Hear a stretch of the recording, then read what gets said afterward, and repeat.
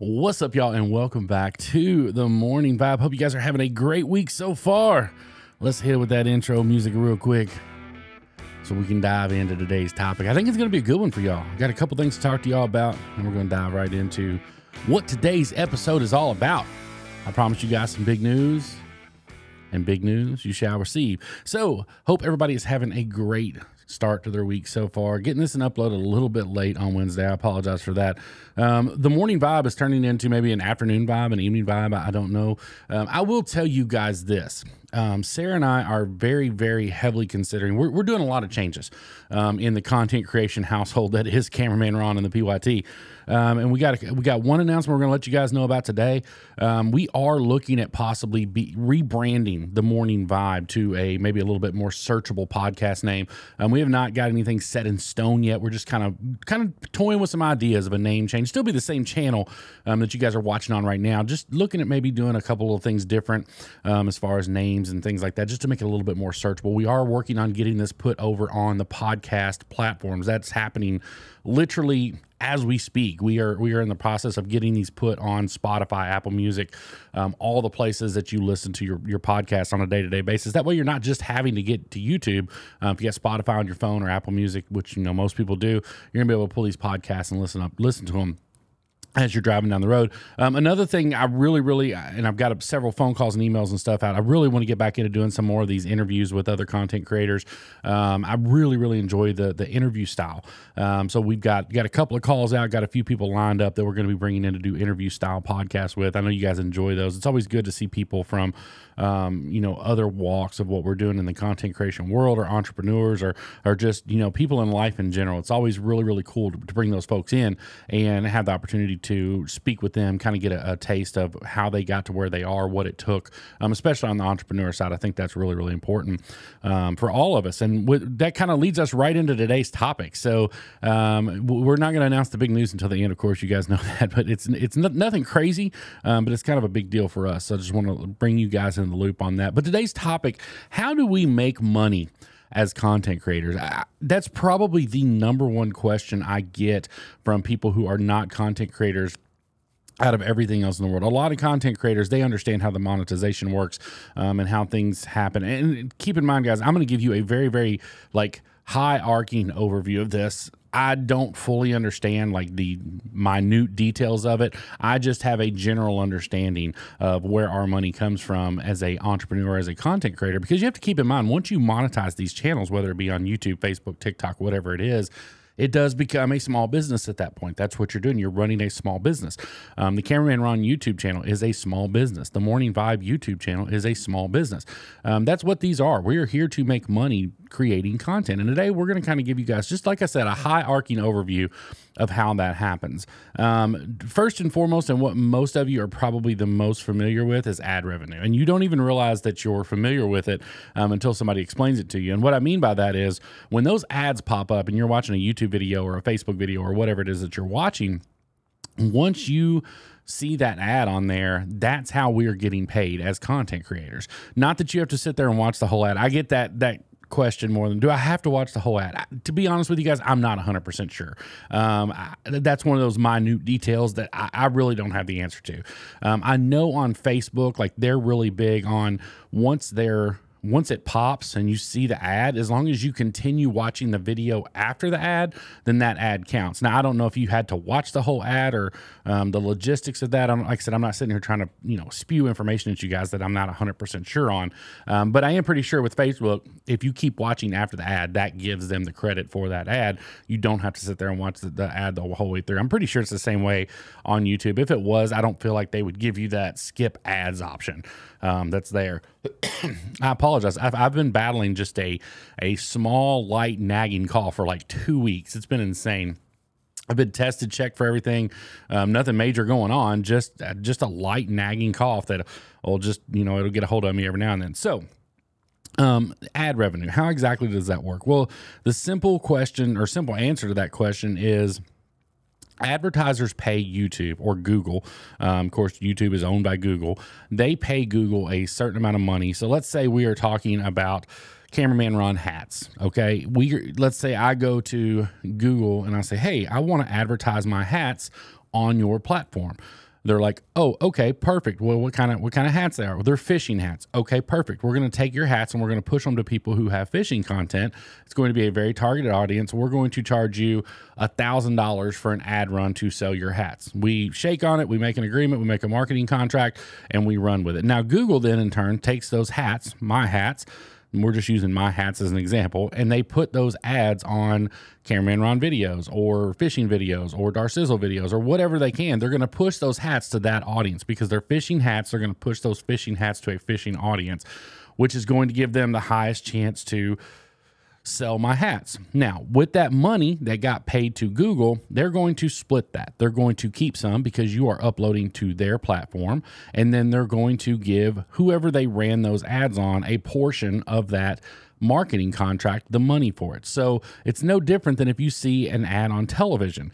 Um, if you go, you know, watch any television show and you see an ad on there, a company paid to have that ad put on that television show. So those marketing dollars are going to the marketing company or whoever you know it's it's going to at that point. With us half the I, I, shouldn't say half. I don't know exactly what the split is. It's not it's not 50 50 um, they keep a little bit more which this is not me griping. That that's perfectly fine. They're the ones running the servers. They're the ones with all the risk. They're covering everything as they should get a bigger portion of it. But google keeps a portion of that money and then they pass along a portion of that money along to us. Now we get paid a cents per minute um, or cpm dollar amount. So it changes from every single video. That's the one thing where it gets really really hairy and I just don't understand. Because I will tell you guys I have I have posted two very very similar videos. Like let's just use a bridge monster video for example.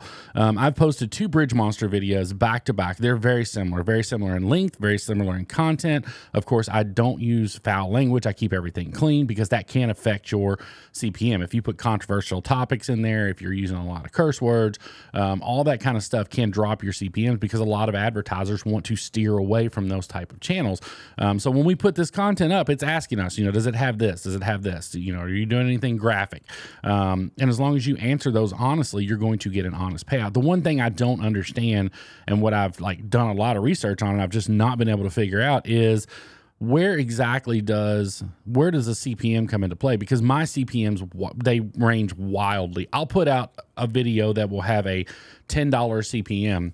Um, and then I'll put another video out that is very, very similar. I mean, just not the same video, but essentially the same video with different fish in a different day, and it'll get a $25 CPM. So I don't understand. I wish there was a better explanation of where those CPMs come from. I'm sure a lot of it has to do with ad dollars and how many ad dollars they have that day. Because obviously, if, you know, February and uh, January and February are always down months, but it's because marketers are not spending advertising dollars. So you're going to see a drop in CPMs during that time. So ad revenue, I, I don't want to drive too into it because I don't want to drive you guys crazy or make it boring. But I just I want to kind of give you an overview of where the money comes from that we're you know doing these things with. So because because it is a business, it costs me money to make a video. So I have to make sure that I'm getting a decent return on the investment of that. Now, like I've told you guys in the past, sometimes we do, sometimes we don't. It does balance out in the wash. I've had videos where they completely tanked and I made 50 bucks. And you know I may have spent 70 to make it. And then I've had other videos where I've spent you know nothing to make it. And I go out there and it's a thousand dollar video. So it's just it really really like varies wildly on the ad revenue which is why you see a lot of channels do sponsorships. Now that's the other place where you really, really can make your money in content creation and you can guarantee yourself money because there's no if, ands, or buts about that. Now, I don't do a ton of sponsored videos on my channel. Um, I do a lot of partnerships. You guys, have, I'll link a, a, a podcast down in the uh, box below. Sorry, I just completely lost my train of thought right there. Um, I'll link uh, the podcast where I talked about the difference in partnerships and sponsorships. But basically, a sponsorship is somebody writes you a check to promote their product. A partnership is where somebody just gives you product just to use in your videos.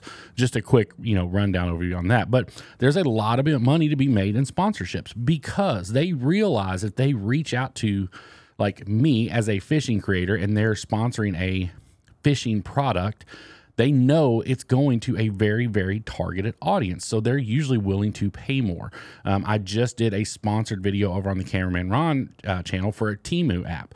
Um, that was a sponsored video. If you go back and you watch that video, it's got a little black box at the beginning. It says includes paid promotion. They paid me to talk about their product in that video. That is a way that we can make money. Now, I don't do a ton of those. Um, just one, because my audience is smaller and I don't want to overwhelm you guys with stuff. And I'm always more worried about building our brand than I am building someone else's brand. But the Temu, the Temu folks were um, relentless in their pursuit of content creators for the last three or four months. And I think it's just because that they really want to get that push before the last quarter, which is October, November, December, and that's when Christmas falls in. They want people looking at their app, so they're willing to pay influencers to put ads on their um, you know, their channels because they know they can hit a targeted audience. People that are looking for, you know, budget friendly fishing gear saw that ad, they're going to go to Temu and they're going to do that. So that's another way um, we get paid. Don't don't hate on guys doing sponsorships because at the end of the day, um, there's no one writing us a check every day just to make these videos. So anytime we get a guaranteed income, you, have to take it. Um, there's just no ifs ands or buts about it. I can take the money from that Temu app um, sponsored video and I can create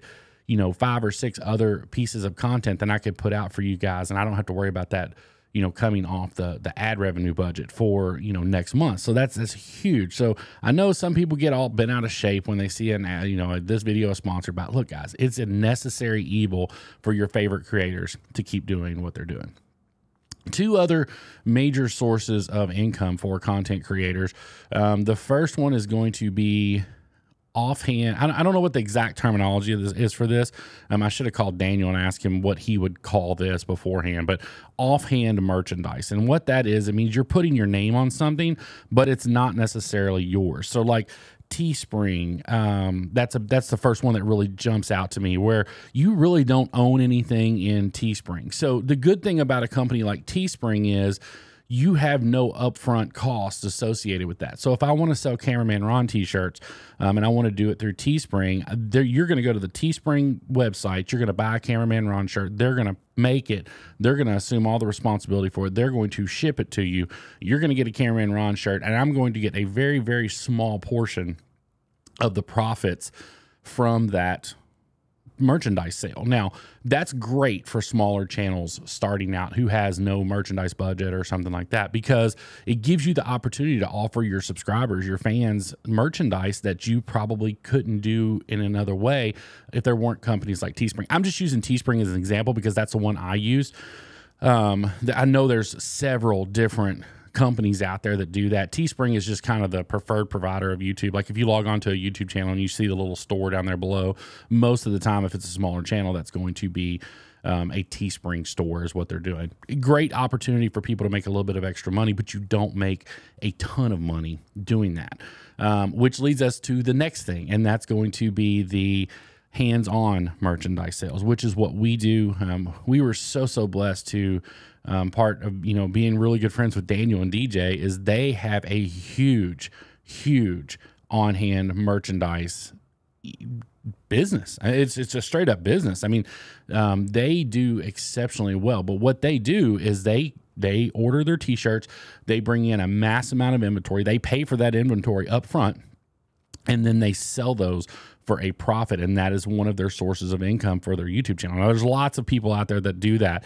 Um, it's just a different beast when you're doing hands on. It's not something where you know you're you're paying somebody else to essentially make your shirt and ship your shirt and all that like you're doing with Teespring when it's hands on like you're doing everything like if you order something from Arms Family Homestead they're going to touch it. They're they're going to physically have that in a shop. They're actually working on a big merchandise building now, um, and they're going to physically touch that merchandise and they are going to ship it to you. They load it up in a truck and they go to the post office. Um, and there's another company that I'm going to talk about today that does that. That's doing that and really may have owned the the world in in their progress of doing this and we're going to talk about them in just a minute but the hands-on merchandise is another way that people are able to make money as content creators. You build an audience. Most of the time, that audience wants to support you. Um, it's just like when we did the crack. I'm looking at a crack a cold one shirt. It's hanging back there. I wish I'd have brought it back here just to show you guys.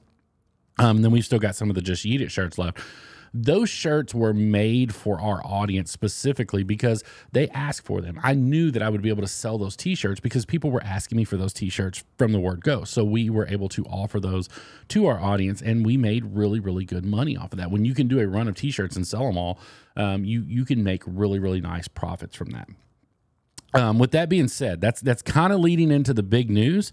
Um, I'm I'm not coming up with anything that I'm selling you guys. I wish I, I, wish I had. I wish there was something I could have thought of early on that I could have made a product, um, much like what I'm getting ready to show you guys. But there's one channel out there right. now. There's probably multiple channels. That I, I shouldn't say there's one. There's a channel that I feel like does this better than anybody else on the platform and that's Andrew Flair. If you're not familiar with Flair or used to be fishing with Flair, um, he's one of the original Googan Squad guys. Um, he was one of the owners of Googan Squad, but he has used his platform and his audience to not promote products. Not he does a lot of sponsored videos, but he has done an amazing job of creating products and creating brands that he promotes on his channel. Now, the most recent being, if you guys are familiar with Flair, you know what this right here is. This is the Beefcake Jerky Company. That's kind of his nickname. He's got the Beefcake Construction Company. Um, he's got the Beefcake uh got like the beefcake jerky company they've got bucks they've got ducks of course i'm sure he still has his hand in Googan squad some but he has done an amazing job like if you really want to look at somebody who has taken their audience and used that audience and that platform to not build brands for someone else, but to build brands for themselves. This is there. You don't have to look any farther than than Andrew Flair. Um, from a merchandise standpoint, 100%. Arms Family Homestead absolutely crushes it. Nobody. I don't know that there's another. Um, a content creator on the platform that does the kind of merchandise aside unless you get up into like the mr beast and those guys. I, I mean those are on a, a whole different level. Um, but as far as like in those like not obviously Daniel doesn't have a small channel because he's got 850,000 subscribers, but I would almost guarantee you that if you looked at every channel with a million subscribers or less, there are very few that are selling more um, like branded merchandise than those guys. Because everything they sell it's Arms Family Homestead Creek Life they've done a great job with their their Creek Life brand that they've been building. Um, do your best DJ has her channel um, with all of her donkey stuff. They do the donkey poodles the alpacas. They've done an amazing job of selling merchandise and self branding AFH and do your best. But then you come to somebody like Flair and they've literally i don't know if you don't know the story behind beefcake um, jerky company him and his buddy banjo and jake they started this jerky company they've literally spent the last year promoting this but they have i think they've launched like I want to say like four or five different times they've they've dropped, and this is not a promo for Beefcake Jerky. I bought this. This was not sent to me. They they I, they sent it to me, but it's because I bought it. But again, it's hands on for them. They're doing all their own packaging um, as far as like shipping out. There's a company that's making the jerky for them, um, but they're doing like they bought a warehouse and they're just they're killing it in the building brand side of influencers. And I think if you ever really really want to make a lot of money in this industry, I think this is the way to go. I think you have to. Um, 100% i think you have to build the brands that you can branch off from what your your namesake is. Like a beefcake jerky if you didn't know like if you went into the store and you picked this up and you bought it, it, it when it's when and if it's available in stores you would have no way of knowing that this came from andrew flair if you weren't familiar with the story. So they're building a brand that really has nothing to do with him as a person but it's a brand that can be withstanding even if his content creation um, journey comes to an end or goes away and that's almost the most reliable source of income that you guys can get from that. Now, with that being said, that's I said that this was leading us into the big news. We're not selling beef jerky. I wish we were. I, like I would give anything if I had been smart enough to come up with something like this um, and sell it. What we are going to be doing is we are starting one more new channel because that's just what we need is one more. This one is going to be a dedicated channel. Every video is going to drop on Saturday morning at 8 o'clock. I already have the first 10 videos filmed for this, so it's not going to be here and there but it is going to be a review only channel. For whatever reason, you guys love hearing me talk about products. They tell me that all the time over on the Cameraman Ron channel. Um, but due to the algorithm and the way it works, I don't necessarily want to continue to just put review videos on the Cameraman Ron channel all the time. I just don't think it's a great idea. I don't think it's great for the algorithm over there. So, with that being said, we are going to be dropping a brand new channel on October the 6th October the 6th. Mark it down your calendar. Make sure you subscribe. I'll I'll blow it out on all the social media media. We, we're pretty sure we have a name picked out, we think, but uh, I'm going to drop that about midweek because we're still working on a couple of logos. We got a couple of fine tuning pieces to do. Um, the very first thing we are going to review is the beefcake jerky because these guys talk about how great this thing is all the time. Like if you've watched Andrew Flair, they talk about how great this beef jerky, and of course they do because they're trying to sell it. But what we're going to do is we're going to be getting stuff like this in, and we're going to give you a real review of it to let you know if it's any good or not. Now that's not me saying it is or it isn't. You guys just have to tune in. Not this coming Saturday. This coming Saturday is September 30th. Next Saturday, October the 6th, is we're going to be launching the review channel. Pretty sure we know the name of it already. I'll be dropping a couple podcasts this couple these coming weeks. I got a couple guests coming in. Um, we're really excited. One of the first things we're going to be doing over there on the review channel, we are giving away an e-bike. Okay, so th- this is not a joke. This is not a um, maybe you could win. We're thinking about it. We're going to give away an e bike. I have an e bike at my house right now that's in the box. I'm going to take it out. I'm going to do a review on it on that channel. And when we hit a thousand subscribers on the review channel, we are giving that e bike away to somebody. No questions asked. It's going to a new home. Somebody's going to get it. It's going to have about five miles on it um, from where I'm riding it to, the, to do the review video. And that's going to be it. Um, so make sure you guys watch for all that information coming out this week. Guys, I truly hope this benefited you in some way. I get a lot of questions about the money side of this and about the business side of it. Um, and, you know, it's, it's one of those things that not a lot of people talk about because, you know, it's money's always a touchy subject. And I mean, I'm not giving you guys exact numbers or anything like that, but money is always a touchy subject as far as like how, where money comes from. But there is money to be made in the content creation world. Make no mistake about that. Um, 100%, you know, there is money to be made. So if it's there to be made, you might as well make it, guys. I'll tell you what we're going to do. We are going to rip open this beefcake jerky. This is the pork teriyaki. I'm going to give you guys a little preview of what you're going to be seeing on the review channel here in a couple weeks. I've already shot the video, so I'm good. I don't have to save any jerky for that. If I, I don't know if I can get this open. What? Oh, there we go. There we go. Oh, y'all know I haven't actually have not tried this flavor yet. This is the pork teriyaki. Is it as good as banjo and Flair says? Hmm. Guess you'll just have to tune in next Saturday to find out. Guys, that's all I got for you today. I truly hope you enjoyed this video. If you did, make sure you give it a great big thumbs up. If you've not subscribed here to the Morning Vibe, make sure you hit that subscribe button. It means the world to us. Y'all find a way to make somebody smile today. You never know. It just might change the world. We can't wait to see y'all on the next one. Y'all take care, and we will see you soon.